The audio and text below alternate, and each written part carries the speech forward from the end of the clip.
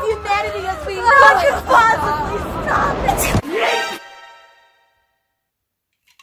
what? Did, did her sneeze just... Oh, I hate allergy season.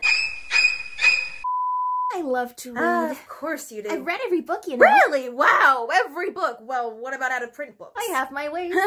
well, what about books with thousands and thousands of pages? Sometimes I have long lunch breaks. Oh, yeah.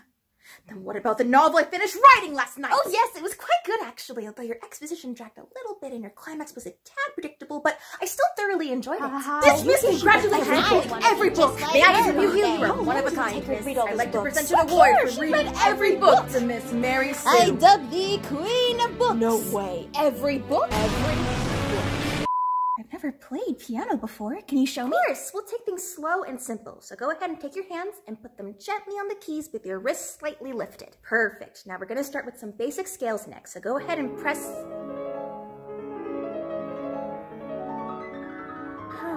Am I doing it right? No matter how hard I try, I just can't get it. I totally know what you mean. It's rough out there for us plain Janes. Your name is Mary Sue, not plain Jane. For the last time, I am not going to your after party, Jackson.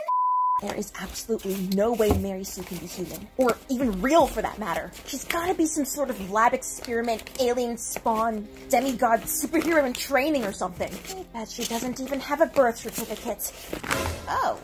Never mind. Apparently she does. Well, I mean, at least I can see where she's from, how old she is, if she died and came back three days later. What? Who gets honors on their birth certificate? What?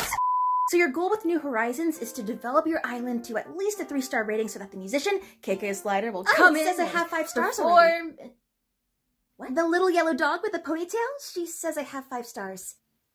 That's impossible. You literally just turned on the switch. Oh, and the HHA mailed me something earlier about an S rating for my house. Is that related to the How stars? do you have six rooms already? And a cat called Raymond is at my campsite. Is he You have Raymond on your island?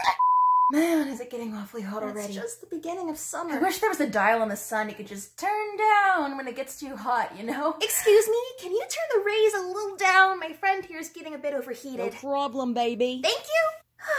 That's better. Oh, we dated back in high school. He's a really nice guy, just a tad hot-headed. The f you say? Oh, this is there he exactly goes. when they He's broke the. Center of everything.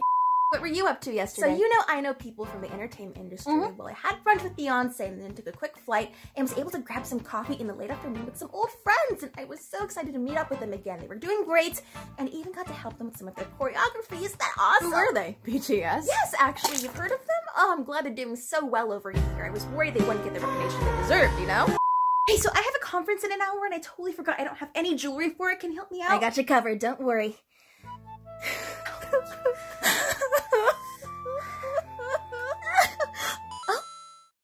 these? Oh, they're perfect.